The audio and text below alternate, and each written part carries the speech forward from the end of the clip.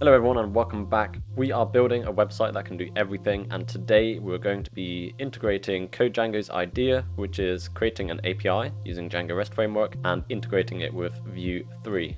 So thanks for leaving the comment, and guys, don't forget to leave your suggestions for the next feature in the comment section below. Okay, I guess we can get started now. So we're in the root directory of our project, where I managed our manage.py is. I've activated our virtual environment, and what we're going to do now is set up our front end using Vue.js. Okay, let's look at the official documentation for Vue.js, and it says the way we actually get started with a project is using this npm create vue at latest, and we just type in this command. So we want it to just be called front end. Uh, add TypeScript, no. JSX support, no. Uh, I do want the router, just because it can be useful.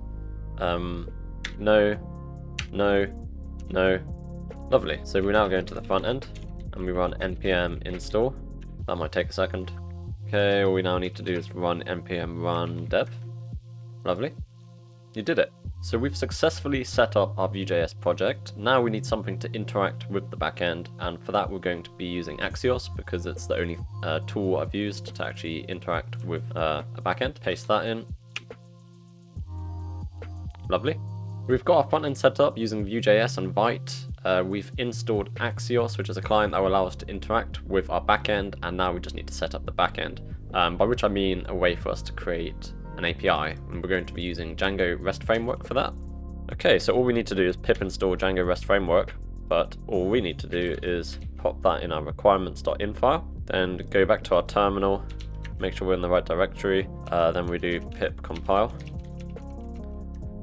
So again, all this is going to do is find a version of Django REST Framework that's going to work with everything else so we don't break anything, and then we just need to do pip sync, which is basically going to uh, install whatever we need so like most Django packages, we actually now need to add this REST framework to our settings file. Uh, where is it? Okay, here's what we're going to do. We're going to start a new app called API. I think that makes sense. We've got our main app, we've got a folder for our front end, and we've got an API.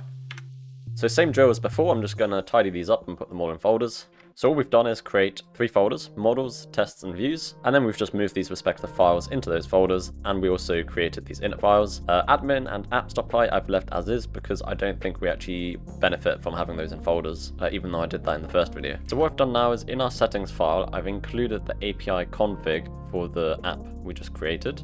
Uh, so that's in API app, uh, .apps.api config, and remember the reason this is two apps is because I actually put this inside a folder called apps and the file is also called apps. Whereas in this case, we've just got the apps file inside the API app. Another thing I forgot, which I've just added, is to create the urls.py file in our API.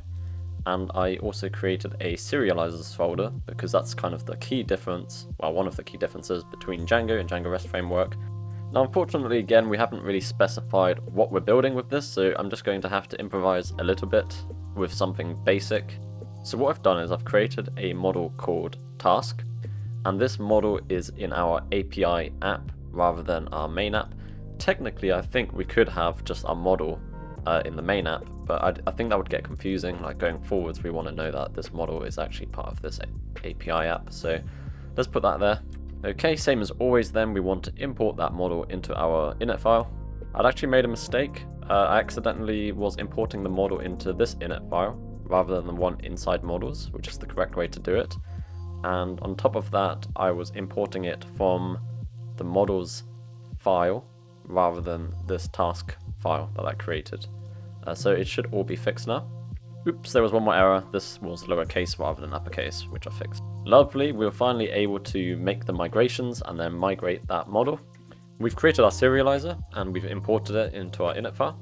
Okay, we've created a simple view for our API uh, using view sets because I prefer to use view sets personally. Uh, and again, in the init file. In fact, I'm just going to stop mentioning the init file, just assume I'm always going to be doing that. Okay, we've done a couple of things now. We've updated our URLs file in the API app um, to look like this. So we're basically going to be viewing our task view set add forward slash tasks. And in addition, we've updated the root URL to have an API path. So the way we access this is going to be forward slash API forward slash tasks. So I guess we should now see if this actually works. So python manage.py run server seems to be okay. And we want to go forward slash API. And then we want to go forward slash tasks. And there you go, we've got our API route. Now we're not displaying anything because we've not created any models or anything, or any, sorry, any data entries in that model. I actually want to load some data into this model, so I've actually gone ahead and registered it for the admin page, which we can take a look at in a second. So we can see we've got three apps now. We've got the default authentication and authorization one, we've got the main one that we created with our to-dos, and we've got this API one, uh, which we just created with tasks in it, and there's no task in there. Uh, title, do something, description, we need to do something. We can save that, and we can go back here, and then if we click here, then we get all of the tasks that we have in our database. So we're not quite done yet. Of course, we've created all the backend stuff we need to do, uh, and now we need to modify our front end. And I'm just going to modify this about page, and we're just basically going to try and make a request to our backend and display uh, this task. Okay, because I've done this before, I know we're probably going to need Django CORS headers because we're going to be making a request from a different port.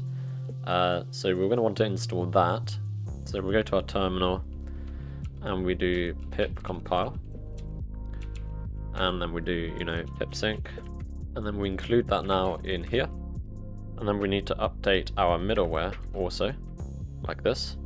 Then we're going to add a couple of settings. The CORS allow all origins, which we've put to false, so not you can't just make a request from anywhere, but only where we specify. And then we've allowed this origin, which is where our front end is currently uh, at. Okay, so the last step was just to create a bit of Vue.js code. All we're doing is we've got a little button, and when we click that button, we make a request for the data.